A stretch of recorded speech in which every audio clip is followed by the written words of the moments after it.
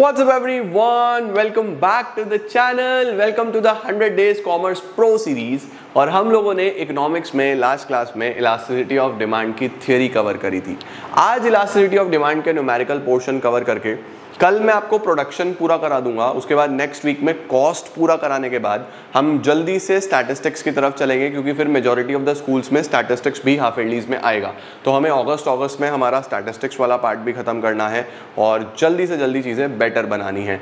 जिन state boards में micro macro twelfth में आ रहा है तो उनके लिए तो बहुत ही अच्छा है। माइक्रो के भी इनिशियल चैप्टर्स हो चुके हैं और मैक्रो के भी इनिशियल चैप्टर्स हो चुके हैं। तो चाहे आपके पास माइक्रो इलेवेंथ में आ रहा हो चाहे आपके पास माइक्रो ट्वेल्थ में आ रहा हो सिलेबस इज़ सेम बस ये है कि कुछ बोर्ड्स में, जैसे सीबीएसई में इलेवेंथ में है, कुछ स्टेट्स बोर्ड्स में ट्वेल्थ में भी है माइक्रो तो कॉन्टेंट इज़ सेम तो आप पढ़ते रहो, ठीक है? चलिए, जल्दी से शुरू करते हैं लेट्स बिगैन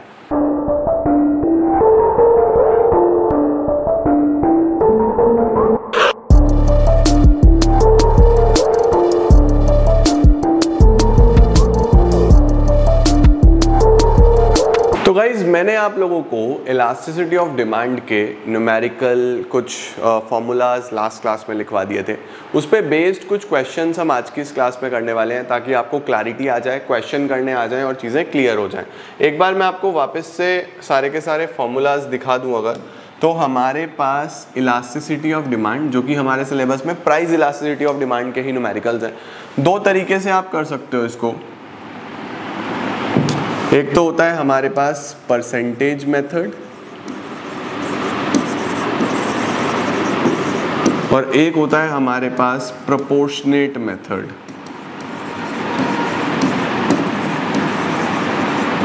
तो परसेंटेज मेथड से कैसे निकलता है? ED percentage change in quantity demanded divided by percentage change in price ठीक है? अब फॉर्मूलाज लिखवाए हुए थे मैंने, फिर से एक बार लिख लो।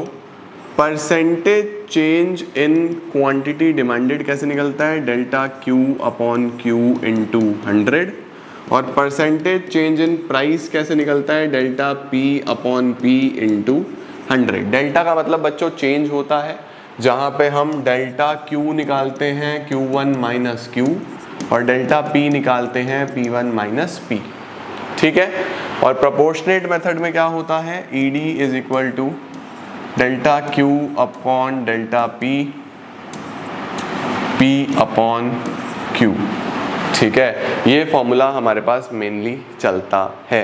अब कई बार मैं इसको इधर इसको इधर भी लिख देता हूँ तो भी चलता है। भाई मल्टीप्लाई तो करना है। तो delta Q upon Q into P upon delta P तब भी एक ही बात है। कोई फ़र्क नहीं पड़ता क्योंकि मल्टीप्लिकेशन में चाहे इधर से इधर मल्टीप्लाई करो, बात तो एक ही है। सही है? तो ये हमारे पास बच्चों फॉर्मूलाज हैं। परसेंटेज मेथड से ऐसे होगा प्रोपोर्शनेट मेथड से ऐसे होगा। कुछ सेलेक्टिव क्वेश्चंस मैं दोनों से ही आपको करा रहा हूँ ताकि आपके लिए आसान हो जाए। आओ सर ले लो जल्दी से स्क्रीनशॉट डन आओ जी। सबसे पहला सवाल। देखो जरा क्या दिया हुआ है। Question number one when price is ten per unit अरे मेमोरी बहुत है हमारे पास। When price is ten per unit demand is hundred units जब प्राइस टेन पर यूनिट है तो डिमांड हंड्रेड यूनिट्स है। When price falls to rupees eight जब price कम हो गया एट हो गया। न्यू प्राइस को पी वन बोला मैंने। When it falls to rupees eight demand expands to one fifty units demand बढ़ के 150 यूनिट्स हो गया। अब देखो लॉ ऑफ़ डिमांड चलता है प्राइस कम होता है तो डिमांड बढ़ता है। आपको इलास्टिसिटी ऑफ़ डिमांड निकालनी है तो अगर मुझे इलास्टिसिटी ऑफ़ डिमांड निकालना हो तो डेल्टा पी कैसे निकलेगा? P one minus P eight minus ten minus two delta Q कैसे निकलेगा? Q one minus Q one fifty minus hundred it will be fifty तो अगर मुझे ई डी निकालना है तो ई डी कैसे निकलेगा? Delta Q upon delta P P upon Q चलो भाई, फटाफट से। डेल्टा क्यू कितना है? सर 50 डेल्टा P कितना है? सर माइनस का 2 P कितना है? सर 10 डेल्टा क्यू है हमारे पास 50 डेल्टा पी है हमारे पास माइनस का 2 पी है हमारे पास 10 और क्यू है हमारे पास 100 क्यू है हमारे पास 100 तो यहाँ से हम 50 into two two into five तो ये आ रहा है माइनस का 2.5 माइनस को तो हम ऐसे लिख देंगे और नीचे नोट लिख देंगे नेगेटिव साइन इंडिकेट्स एक नोट लिख देंगे. Negative sign indicates inverse relationship ये हर क्वेश्चन के नीचे लिख दिया करो। Between price and quantity demanded negative sign क्या इंडिकेट करता है? इनवर्स रिलेशनशिप किसके बीच में? प्राइस और क्वांटिटी डिमांडेड के बीच में। डन हो गया बेटा। माइनस का 2.5 इलास्टिसिटी की कोई यूनिट नहीं होती तो इसको ऐसा ही हम छोड़ देंगे। चलो सर ये डन है। स्क्रीनशॉट ले लिया। डन डन सर चलो भाई, करना चालू करो। फटाफट से इसी तरीके का सवाल है। फिर से प्राइस इलास्टिसिटी ऑफ़ डिमांड निकालना है। आओ जरा देखें। क्या दिया हुआ है? ओरिजिनल देखो लिखा हुआ है the demand for a good falls to 240 units demand कम हो गई है 240 जब प्राइस दो रुपए से बढ़ा है। ओरिजिनल डिमांड 300 यूनिट की थी ओरिजिनल प्राइस 20 रुपए का था। प्राइस 20 था तो ओरिजिनल डिमांड जो है, वो 300 यूनिट की थी। ठीक है? जब प्राइस बढ़ा दो रुपए से, यानी प्राइस हो गया 22 प्राइस दो रुपए से बढ़ा 22 हो गया तो डिमांड गिर गई है 240 हो गई है। डिमांड हो गई है 240 प्राइस अगर दो रुपए से बढ़ा है तो डिमांड कम हो गई है और कितनी हो गई है? 240 हो गई है। अब क्या किया जाए? इस केस में बच्चों, हम क्या करें? कैसे निकालें? Delta P will be P1 one minus P twenty two minus twenty two आ जाएगा। Delta Q will be Q one minus Q दो सौ चालीस माइनस तीन सौ माइनस का साठ। तो अगर मुझे अब इलास्टिसिटी निकालनी है तो ई e का क्या फॉर्मूला है? Delta Q upon delta P into P upon Q ठीक है जी? डेल्टा Q कितना है? माइनस का सिक्सटी डेल्टा P कितना है? टू P कितना है? ट्वेंटी Q कितना है? थ्री हंड्रेड ठीक है, सर?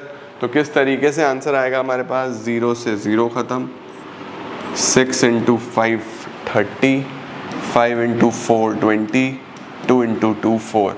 तो यहाँ पे आंसर आ रहा है माइनस का टू। इलास्टिसिटी आ गया बच्चों, माइनस का टू। ठीक हो गया? परफेक्ट है। ये हमारे पास इलास्टिसिटी का आंसर आ जाता है। ले लो जल्दी से फटाफट स्क्रीनशॉट नीचे नोट सेम टू सेम लिख देना। डन डन सर अगला क्या है? देखो क्या लिखा हुआ है। इसको सावधान इंडिया मार्क करना अच्छा सवाल है। क्या लिखा है? When the price of a good is rupees five जब P हमारे पास फाइव है consumer buys hundred units of goods quantity होती है hundred units at what price बोल रहा है, कितने प्राइस पे कंज्यूमर बाय करेगा 140 यूनिट्स कंज्यूमर बाय करेगा 140 यूनिट्स अगर इलास्टिसिटी टू है, अगर इलास्टिसिटी टू है, देखो। तो देखो, अगर क्वांटिटी बड़ी है तो प्राइस तो कम ही हुआ होगा बच्चों। बस किसी तरीके से चेंज इन प्राइस पता चल जाए। तो चेंज इन प्राइस को मैं, मुझे पता नहीं, है ना? डेल्टा क्यू कितना है? 40 क्यू वन माइनस क्यू तो इलास्टिसिटी का क्या फॉर्मूला होता है? E D is delta Q upon delta P into P upon Q ठीक है? परफेक्ट अब डी की वैल्यू भर दो यहाँ पे. डी टू है. डेल्टा क्यू कितना है? 40 डेल्टा पी को as it is delta P ही रहने दो. इसको यही रहने दो. पी कितना है? पी है पाँच. क्यू कितना है? क्यू है हंड्रेड क्यू कितना है? क्यू है हंड्रेड तो अब जितना जितना मैक्सिमम आप कट कर सकते हो, उतना उतना मैक्सिमम तो कट करने की कोशिश कर लें. है ना? तो कट करने की कोशिश करते हैं। तो अगर मैं इसको रखूँ, ये five into one five two ten ये ट्वेंटी आ जाएगा। है ना? और ये आ जाएगा twenty into two forty right तो अब यहाँ से क्या होगा देखो, अब आपके पास सिंपली यहाँ पे तो बस दो बचा। ठीक है? इसको इधर भेज दो, इसको इधर भेज दो। तो डेल्टा पी हो जाएगा two upon two that is one change in price कितना हो जाएगा? वन यूनिट का हो जाएगा। अब सोचो बच्चों क्वांटिटी बढ़ी थी। क्वांटिटी अगर बड़ी है तो चेंज इन प्राइस कितना होगा? वन यूनिट से होगा। तो इसका मतलब पाँच से अगर एक यूनिट कम कर दूँ पी फाइव है। हम्म तो पी वन कितना हो जाएगा? फोर हो जाएगा। ठीक है? कम क्यों हो रहा है प्राइस देखो डिमांड बढ़ रही है तो प्राइस तो कम ही होगा। तो अगर प्राइस पाँच से एक यूनिट कम हो जाए, चार हो जाए तो क्वांटिटी 140 हो जाएगी। ये आ जाएगा हमारे पास answer P1 one is equal to four तो न्यू प्राइस जो है, वो फोर आ जाएगा। ठीक है? बढ़िया सवाल था। हमने चेंज निकाल लिया कि कितना चेंज आया? एक रुपए का चेंज आया। तो भैया आप देखो क्वांटिटी बढ़ रही है तो प्राइस तो कम ही होना चाहिए। प्राइस कम हो गया सीधा सीधा डन हो गया बेटा जी। चलो सर अब चलते हैं अगले पे। अब ये वाला सवाल आप लोग खुद से ट्राई करोगे आज। देखो जरा क्या दिया हुआ है। The demand for a good at rupees ten per unit is forty अगर प्राइस दस है तो डिमांड फोर्टी है, ठीक है? प्राइस पाँच रुपये से गिर गया, यानी कि पी वन पाँच से गिरा तो फाइव हो गया। फॉल्स बाय रुपीज़ फाइव आपको बोल रहा है, बताओ नया क्वांटिटी डिमांडेड कितना होगा अगर इलास्टिसिटी थ्री है। अब देखो प्राइस कम हुआ है तो क्वांटिटी बढ़ेगी। प्राइस कम हुआ है बच्चों, अगर तो क्वांटिटी बढ़ेगी। तो आप क्या करोगे सिंपली आप बोलोगे डेल्टा पी तो आएगा माइनस का five five minus ten minus का फाइव डेल्टा क्यू को डेल्टा क्यू ही रहने देंगे। ईडी e का फॉर्मूला क्या है? Delta Q upon delta P into P upon Q ये है ईडी e को थ्री रख लो। डेल्टा क्यू कितना है हमें पता नहीं, इसको ऐसे ही रहने दो। डेल्टा पी कितना आया? फाइव पी कितना आया? टेन क्यू कितना आया? फोर्टी क्यू कितना आया हमारे पास? फोर्टी तो आप यहाँ से करो टेन, ये आ गया four, five into four, twenty. तो delta Q, twenty into three, sixty आ जाएगा। ऐसे है ना? और खोलूँ थोड़ा सा तो ऐसा आ जाएगा। Three is equal to delta Q upon twenty. तो डेल्टा क्यू कितना? सिक्सटी। चेंज इन क्वांटिटी बच्चों, सिक्सटी आ जाएगा। अब देखो, प्राइस जो है वो कम हुआ। प्राइस अगर कम हुआ तो क्वांटिटी बढ़ेगी। तो क्वांटिटी कितने से बढ़ेगी? सिक्सटी से। तो Q1 आ जाएगा 40 plus sixty is equal to hundred. लो जी, मैं नहीं कर दिया। हंड्रेड आंसर आ गया बच्चों। क्लियर हुआ? इस तरीके का सवाल भी आपसे पूछ सकता है। ओके, ले लो जल्दी से स्क्रीनशॉट ये भी। डन सर अंतिम सवाल लास्ट क्वेश्चन इसको परसेंटेज मेथड से करना है। कौन से मेथड से करना है? परसेंटेज मेथड से। देखो क्या लिखा हुआ है। A consumer buys 20 units of a good at rupees ten per unit price 10 है तो क्वांटिटी है 20 when its price falls by 10 percent इसका मतलब जो चेंज इन प्राइस है परसेंटेज चेंज इन प्राइस वो 10 परसेंट का है। Its demand rises to 22 units demand ये हो जाती है 22 है ना? तो अब अगर परसेंटेज मेथड से करना है तो ईडी e का क्या फॉर्मूला है? Percentage change in quantity demanded divided by percentage change in price percentage change in quantity demanded divided by percentage change in price ये फॉर्मूला है सीधा सीधा तो percentage change in quantity demanded कैसे निकलेगा? Delta Q upon Q into hundred delta Q कितना आएगा? 22 to minus twenty आ जाएगा। है ना? तो 2 upon twenty into hundred. Two upon twenty into hundred. ये आ जाएगा बच्चों। तो यहाँ पे ज़ीरो से ज़ीरो ख़त्म करो। Two one, ten into one, ten percent आ गया। कितना आ गया? दस परसेंट आ गया। तो percentage change in quantity demanded कितना है? दस percent percentage change in price कितना है? दस परसेंट तो इलास्टिसिटी का वैल्यू कितना आया? वन। इलास्टिसिटी कितना आ गया बच्चों यहाँ पे? वन आ गया। ले लो इसका भी स्क्रीनशॉट तो अगर हमें परसेंटेज मेथड से करना हो तो हमें दोनों की परसेंटेज चेंज निकाल के सीधा सीधा दिखा देना है इस तरीके से। समझे? तो आपको किसी भी मेथड से बच्चों न्यूमेरिकल पूछ सकता है। परसेंटेज मेथड से भी बोल सकता है प्रोपोर्शनेट मेथड से भी बोल सकता है। आपको अपने आप को दोनों ही मेथड्स के लिए प्रिपेयर करना है। All right? तो ये थे हमारे पास बेटा कुछ इलास्टिसिटी के न्यूमेरिकल्स होप सो आपको क्लियर हुए होंगे. इसके बाद हम लोग कल प्रोडक्शन कंप्लीट करते हैं.